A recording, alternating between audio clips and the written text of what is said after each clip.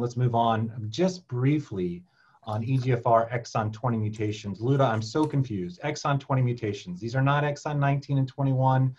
They don't seem to be as sensitive to TKIs as the 19 and 21s. They're challenging to treat and to make things even more complicated. There's all these new therapies that have come out trying to um, treat these, to try to offer uh, or test um, uh, in the exon 20 patient population. Can you briefly walk us through some of these trials and some of the strategies that are ongoing?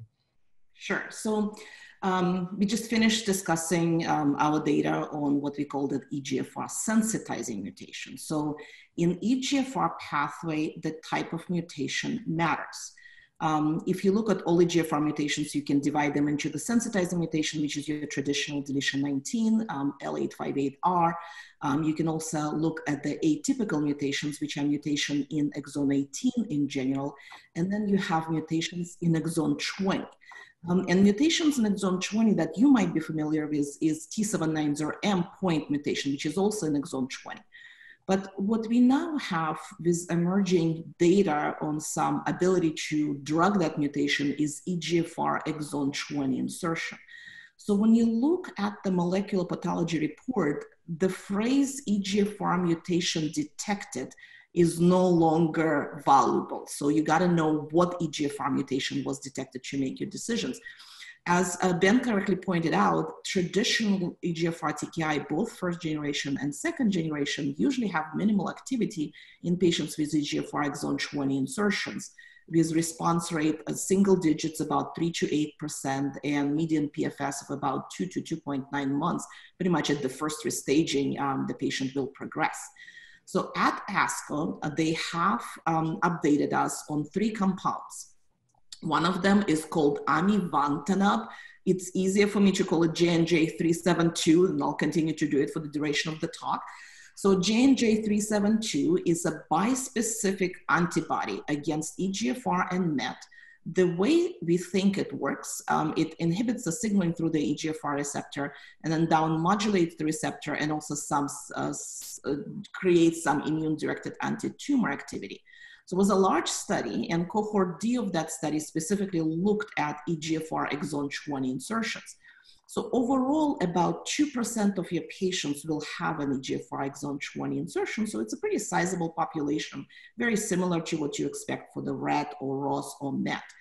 Um, small number of patients in that cohort, only 50, uh, 39 were response evaluable.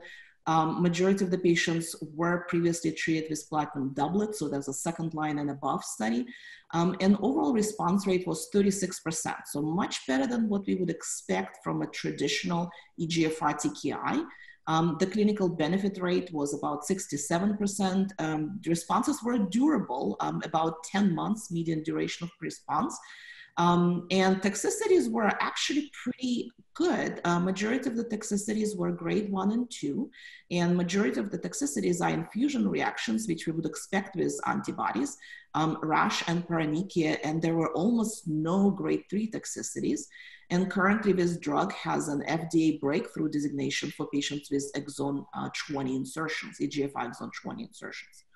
So the second drug that was presented is um, osimertinib so from the ACRIN, ECOG ACRIN 5162 study, the reason why osimertinib um, rise to our desire to study it is because uh, we believe that one of the reasons why the first and second generation TKI did not work is because we cannot bring up the dose high enough to inhibit the receptor without running into our traditional EGFR toxicity. Since osimertinib is definitely better tolerated than um, your first and second EGFR TKI, the idea was to give osimertinib at a higher dose at 160 milligrams and see if that um, has an ability to inhibit EGFR exon 20 uh, insertions. And the results were kind of mediocre in my view. So um, only 15 patients were looked at, uh, second line and above.